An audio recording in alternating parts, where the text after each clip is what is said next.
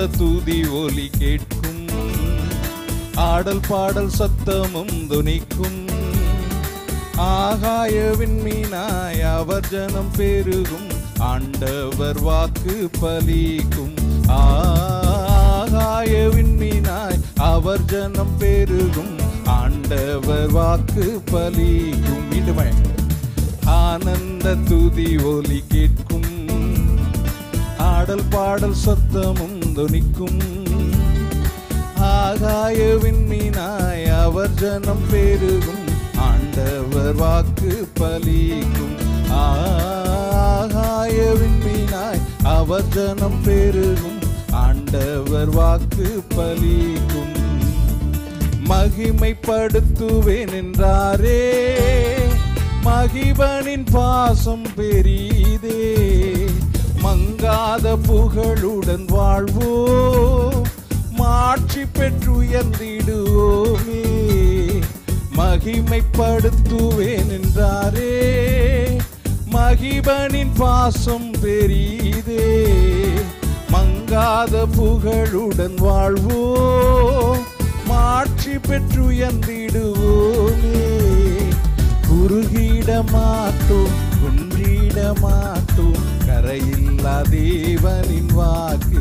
ஆ குறுகிட மாட்டோம் குன்றிட மாட்டோம் கரையில்லா தேவனின் வாக்கு. ஒரு வசனம் வாசிங்க. சங்கீதம் அஞ்சு நான்கு. நீ துன்மார்க்கத்தில் பிரியப்படுகிற தேவன் அல்ல. தீமை உம்மிடத்தில் ஸ்தோத்திரம். தீமை உம்மிடத்தில் என்ன செய்வதில்லை? சேருவதில்லை. நாலாம் வசனத்திலே உம்மிடத்தில் சேர்வதில்லை என்றால் தீமை தேவனிடத்தில் வாசமாயிருப்பது. ஆங்கிலத்தில் அப்படி பார்க்கிறோம் evil shall not dwell with God. தீங்கு ஆண்டவரிடத்தில் இல்லை. உலகத்திலே வரக்கூடிய தீங்குகள் தீமைகள் எல்லாம் எப்படி வருகிறது என்றால் அதுக்கு ஒரு வசனத்தை வாசித்து பார்க்கும்போது சங்கீதம் தொண்ணூற்றி நான்கு பத்தொன்பதாவது வசனம் வாசி தீமையை கட்டளையினால் பிறப்பிக்கின்ற கொடுங்கோல் ஆசனம் உம்மோடு இசைந்திருக்குமா? ஒரு கேள்வி தேவனிடத்து ஆண்டவரே தீங்கு செய்யக்கூடிய தீங்கு வெளிப்படக்கூடிய கொடுங்கோல் ஆசனம் உமக்கு இசைந்திருக்குமா என்று ஆண்டவரிடத்தில் கேட்பதை பார்க்கிறோம். அப்போ இந்த வசனத்தில் பார்க்கிறோம் தீமையை கட்டளையினால் பிறப்பிக்கின்ற கொடுங்கோல் ஆசனம். கொடுங்கோல் ஆசனத்திலிருந்து தான் தீங்குகள் என்ன செய்து புறப்பட்டு வருகிறது. உலகத்திலே நிறைய மக்கள் சாத்தானுடைய டூல்ஸாக இருந்து ரூலர்ஸாக இருக்கலாம் ஜட்ஜஸாக இருக்கலாம் நல்ல ஹை ஹையர் லெவல் பொசிஷனில் இருக்கலாம். ஸோ ஆண்டவருக்கு இடங்கொடாதபடி அவர்கள் தேவ சாத்தானால். சாத்தான் தன்னுடைய திட்டங்களை நிறைவேற்றுவதற்கு அப்படிப்பட்டவர்களை பயன்படுத்தலாம். பயன்படுத்தியிருக்கிறான் வேதத்தில் சரித்திரத்திலும் பயன்படுத்தியிருக்கிறான். உலகத்திலே கடைசி நாட்களில் தீங்கான நாட்கள் வரும் என்று சொல்லப்பட்டிருக்கிறது. தீமைகள் வருவதை யாரும் தடுக்க முடியாது. பட் தீமைகளுக்கு தப்பு தப்புவதற்கான வாய்ப்புகளை கத்த தம்முடைய பிள்ளைகளுக்கு ஆண்டவர் தருவார். ஏனென்றால் கடைசி காலத்தில் சொல்லும்போது லூக்காஸ் விசேஷம் இருபத்தி ஒன்றாம் அதிகாரம் முப்பத்தி ஐந்தாம் வசனத்திலே கன்னிகளுக்கு கன்னிகளைப் போல பூமியின் எங்கும் இந்தியாவில் மட்டுமல்ல உலகம் முழுவதிலும் பூமி எங்கும் வாசிங்க. குடியிருக்கிற எல்லார் மேலும் கன்னிகளைப் போல நாட்கள் வரும்.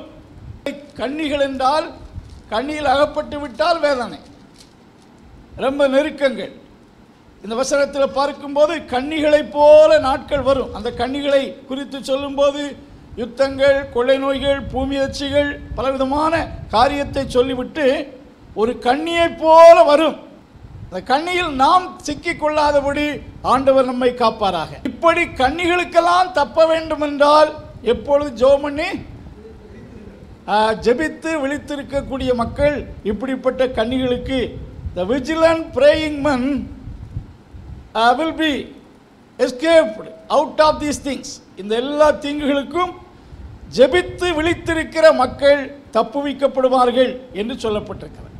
ஏன் கடைசி நாட்களில் ரொம்ப கொடுமையான சம்பவங்கள் அதிக தீங்குகள் வர வேண்டும் என்றால் நான் நினைக்கிறேன் பிசாசு தனக்கு கொஞ்ச காலம் உண்டென்று சொல்லி தன்னுடைய முழு பலத்தை என்ன செய்கிறான் ஏன்னா அவனுக்கு கொஞ்ச காலம் நாம் வெளிப்படுத்தல் பனிரெண்டு பனிரெண்டை வாசித்து பார்க்கும்போது தனக்கு கொஞ்ச காலம் உண்டென்று சொல்லி அதிக விக்கிரசாக ரொம்ப இரவும் பகலும் கடினமாக தேவனுடைய திட்டத்தை பூமியில் சீர்குலைக்கலாம்.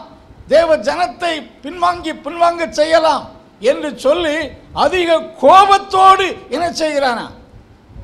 கொஞ்ச காலம் வேலை பெரிதா இருக்கு கொஞ்ச காலம் உண்டென்று அறிந்து அந்த காலத்தில் அவன் மிகவும் கோபமாய் செயல்படுகிறபடினாலே உலகத்தில் கடைசி நாட்களில் அதிக தீங்குகள் பரவி பரப்பு ப- பரவி வருகிறது. ஸோ இவைகளில் நாம் தப்புவிக்கப்படுவதற்கு ஆண்டவர் நல்லவராயிருப்பார். நான் வேதத்தில் வாசித்து பார்க்கையில் பெரிய ஜலப்பிரளயம் உலகமெங்கும் வந்தபோது நோவாவின் குடும்பத்தை ஆண்டவர் ஆச்சரியமாக என்ன செய்தார்? காப்பாற்றினார். ஒரு சோதங்குமரா பட்டணம் தீயினால் தேவ நியாய தீர்ப்பு அந்த பட்டணத்தில் விழுந்தபோது ஒரு நீதிமானை கத்தர் ஆச்சரியமாய் என்ன செய்தார்? தப்புவித்தார் ஸோ அப்படி தப்புவித்த ஆண்டவர் கொடிய சூழலை எதுவாக இருந்தாலும் ரெண்டு பேதறிவுக்கு நிறுவம் ரெண்டாம் அதிகாரம் ஒன்பதாம் வசனம் வாசிங்க. கர்த்தர் தேவ பக்தி உள்ளவர்களை ரட்சிக்க அதாவது துன்பத்திலிருந்து சோதனையிலிருந்து ரட்சிக்க அவர் என்ன அறிந்திருக்கிறார். அஞ்சாம் வசனத்திலே நோவாவை பூர்வீக உலகத்தில் தப்புவித்தவர் லோத்துவை தப்புவித்தவர் தம்முடைய ஜனத்தை சோதனையில் இருந்து தப்புவிக்க கத்தர் நினைச்சிருக்கிறார் அறிந்திருக்கிறார் என்று சொல்லப்பட்டது. ஒரு சின்ன ஒரு இன்ட்ரோடக்ஷன் சொன்னேன். கடைசி காலத்தில் ஏன் அதிகமாய் துன்பங்கள் உலகத்தில் பரப்பப்படுகிறது என்றால் சாத்தானுக்கு கொஞ்ச காலம் உண்டு என்று அறிந்து தேவனுடைய திட்டத்தை சீர்குலைக்கவும் தேவ பிள்ளைகளை பின்வாங்கி போகச் செய்யவும் உலகத்தில் ஆண்டவர் பக்கம் மக்கள் ஏன்னா ஒரு துன்பம் வரும்போது மக்கள் கடவுளிடத்தில் உண்மையாக திரும்ப மாட்டாங்க. எந்த அளவுக்கு கடவுளை விட்டு விலகி போகணுமோ அந்த அளவு தான் நினச்சிவாங்க போவார்கள். கடவுளுக்கு நேராக மனதை செலுத்த மாட்டார்கள்.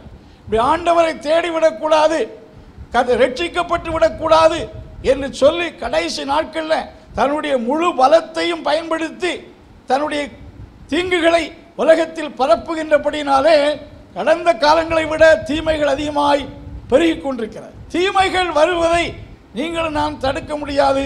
ஆனால் தீங்குகளுக்கு நாம் தப்பக்கூடிய வழியை கத்த நமக்கு உண்டாக்குவார். நாம் எந்த சூழ்நிலையிலும் ஆண்டவர் நமக்கு உதவி செய்வார். ஆண்டவர் ஆபத்துக்கள் துன்பங்களின் நடுவில் நம்மை எப்படி நடத்துவார் என்ற ஒரு சில வசனத்தை வாசிக்க விரும்புகிறேன். முதலாவது நீதிமொழிகளின் புஸ்தகம். ஒன்றாம் அதிகாரம். முப்பத்தி மூன்றாவது வசனத்தை ஒருவர் வாசிக்கலாம். எனக்கு செவி கொடுக்கிறவன் எவனோ அவன் விக்கினமின்றி வாசம் பண்ணி. ஆபத்துக்கு பயப்படாமல் அமைதியாயிருப்பான். கத்த சொல்கிறார் எனக்கு செவி கொடுக்கிறவன் விக்கினமின்றி விக்கினம் என்றால் என்ன? நெருக்கங்கள் துன்பங்கள் ஆபத்துக்களைத்தான் விக்கினங்கள் என்று சொல்வோம். வசனத்தில் பார்க்கிறோம் எனக்கு செவி கொடுக்கிறவன் விக்கினமின்றி. அதாவது கத்தரிக்கு சோத்திரம் அவன் ரொம்ப சேஃபாக இருப்பான். Whosoever listen to me shall dwell safely அவன் பாதுகாப்பாக வாசம் செய்வான். அங்கே ஆண்டவருக்கு செவி கொடுக்கிறவனுக்கு ஒரு பாதுகாப்பை கொடுக்கிறார். அவன் பாதுகாப்பாக இருப்பது மட்டுமல்ல அவன் தீங்குக்கு ஆபத்துக்கு பயப்படாமல் அமைதியாக இருப்பான் ஆண்டவருக்கு செவி கொடுக்கிற ஆண்டுடைய வார்த்தைக்கு செவி கொடுக்கிற மக்கள் பாதுகாப்பாக இருப்பார்கள். அவர்கள் எந்த தீங்குகள் எப்படி வந்தாலும் தீங்குக்கு பயப்படாமல் இருப்பார்கள். ஆபத்துக்கு பயப்படாமல் இருப்பார்கள். கத்தர் ஆபத்துக்கு பயப்படாமல் இருப்பார்கள். வேதாகமத்திலே பயப்படாதே என்று ஆண்டவர் சொல்லியிருக்கின்ற வார்த்தைகள் முன்னூற்றி அறுபத்தைந்து தடவைக்கு மேல் வருகிறதாக வேத பண்டிதர்கள் கூறுகிறார்கள். சூழ்நிலைகள் நாட்கள் எதுவாயிருந்தாலும் பயப்படாதே ஃபியர் நாட் என்ற வார்த்தை தேவன் தம்முடைய மக்களுக்கு கொடுத்திருக்கிற ஸ்பெஷல் பேக் பயத்துக்கு எதிரையான வார்த்தை விசுவாசம்.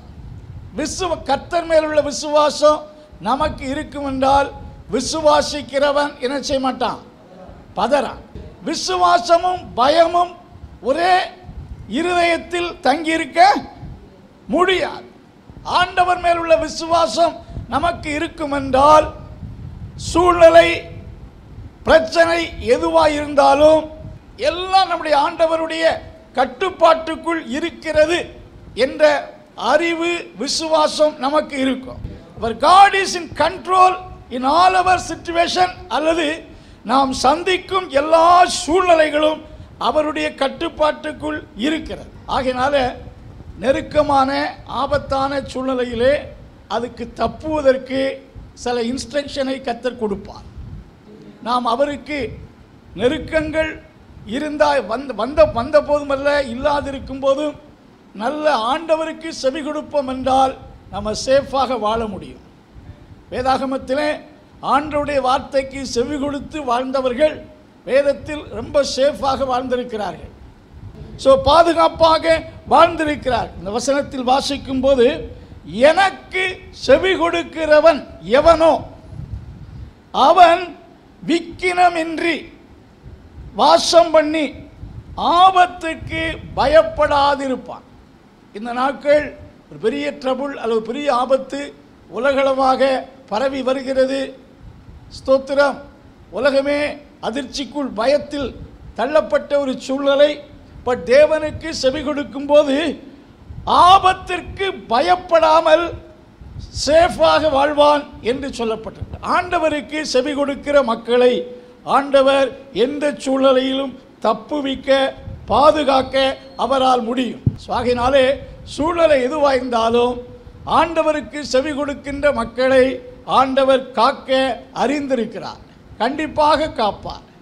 இஸ்ரவேலை காக்கிறவர் தூங்குவதும் இல்லை அவர் உன்னை எல்லா தீங்குக்கும் விலக்கி காப்பார். கத்தர் அவனுக்கு ச- அவருக்கு செவி கொடுக்கிற மக்களை சேஃபாக வாழ கத்தர் வழிகளை ஏற்படுத்தி கொடுப்பார். அன்பின் கத்தாவே இந்த காலை வேளையிலே இந்த வசனத்தை கேட்ட யாவரையும் ஆசிர்வதியும் தேவ கிருவை கூட இருப்பதாக இந்த நாளுக்கு தேவையான பலன் சுகம் யாவும் தந்து நடத்தும். இயேசுவின் நாமத்தில் ஜெபங்கேளு நல்ல பிதாவே. ஆமை